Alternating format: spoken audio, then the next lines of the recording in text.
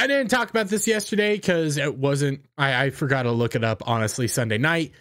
But, but, but, but, but, but, the Super Mario Bros. movie has made it almost to $1 billion. It's about almost $900 million worldwide. Uh, yes, it's sitting at about $878 million, but it is so close to $900 million. This is massive for basically Super Mario Bros. This is massive for Nintendo. This is a movie that just won't stop. This is all still prior to Japan releasing. That is awesome. That is cool.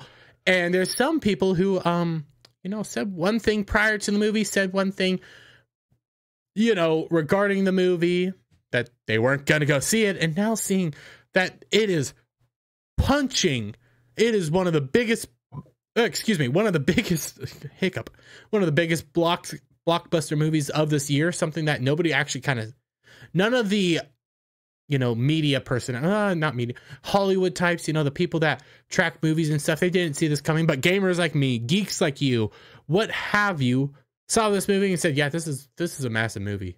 This this is gonna dominate." But now we have a, a somebody talk coming back out of his mouth because you have John Leguizamo, and I'm just starting from here to remind you all. John Leguizamo boycotting Super Mario Bros. movie due to the exclusion of Latino characters. They stopped gr- the groundbreaking. He didn't want to see the movie because they weren't asking him to come on. He was pioneering this push bef- when the movie was just being pitched. Like months prior, almost a year prior, he said he was not going to go see this movie. He refuses to talk about this movie. He doesn't want to be anywhere near it because he's the only one that knew how to make it work. Because he, they were groundbreaking because they cast a Latino as Luigi, even though Luigi is Italian. He was born in Brooklyn. Oh, but we race changed him back when I did the movie. No, that's not Luigi. That's somebody completely different. Luigi was lo- the brother your whole movie was backwards. this was a more accurate depiction. This was a more accurate characters. Hey, it's good, you know. But remember, he refused to watch the movie, stopping the groundbreaking. He didn't want to watch it. He wanted to push the, uh, the you, you know, the the boycott. Don't interact with it. Don't watch it. Don't do anything with it. Well, now John Leguizamo would join a Super Mario Bros. sequel despite slamming the movie. Yeah, he's willing to hop on board now. He's willing to be a part of the movie now because he realized his little don't see a movie, no, it's not inclusive enough, it doesn't have this failed. Why did it fail? Because people didn't care. They wanted a good Mario movie. It was going to be animated. It had cast of honestly diverse characters. There was all sorts of characters in it. It had heart. People cared about it. People liked it. People enjoyed it. Oh, but because they didn't cast you, you wanted to cry about it because you were in the live action crappy version, and this was a CGI, more accurate version, animated, fun time, enjoyable, but nobody listened to you because you're inauthentic. This shows inauthentic, inauthenticity. This cries that you don't care. You're only doing this because you weren't included. But now you're like, well, you know, because it was so popular.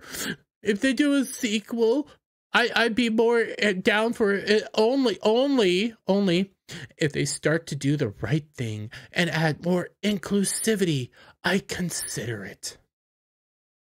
You've got to be kidding me. It has. Uh, you read this. Read this. When casting announcements were made about Illumination's collaboration with Nintendo, there was almost universal uproar over some of the choices. No, no, no, no, no. There was concern, there was an uproar. At the center of the storm was Chris Pratt and his voice of the iconic plumber himself, and Leguizamo was quick to express his annoyance at the lack of diversity in the casting choices. At the time, the actor said he said the movie was backwards for its lack of diversity. He noted that it was too bad they went all white with no Latina, Latinx, Latino, Lat, Latino, whatever leads. He also claimed that he was the only one who knew how to make this movie work script wise. Yeah, well, you failed. They did it without you. Doesn't that sting? I think that stings for John Leguizamo. They had a movie. He made all these claims. Oh, it's bad. Don't watch it. It's not going to work without me. He made all these claims. Guess what? It worked perfectly fine without you. Why? Because they actually had Nintendo's blessing. Nintendo was heavily involved in this. Nintendo worked overtime on this movie. It kept its heart, it kept what it needed, and my God, people love this movie. This movie is baking, breaking box office records. This movie is soaring to that billion dollar mark, all without Japan. Japan doesn't get it until this weekend. Korea doesn't get it until this weekend. Some European country doesn't get it until this weekend. It's gonna make that billion dollars. All without John Leguizamo. I, I love it. I love it. I love it. I love it. I love it. But let me get you guys' thoughts down in the comments below. If you like this video, give it a thumbs up, share it out with friends, hit that subscribe button, hit that notification bell for every time I put out a new video and go live, guys. And I'll see you all on the next one. Bye for now.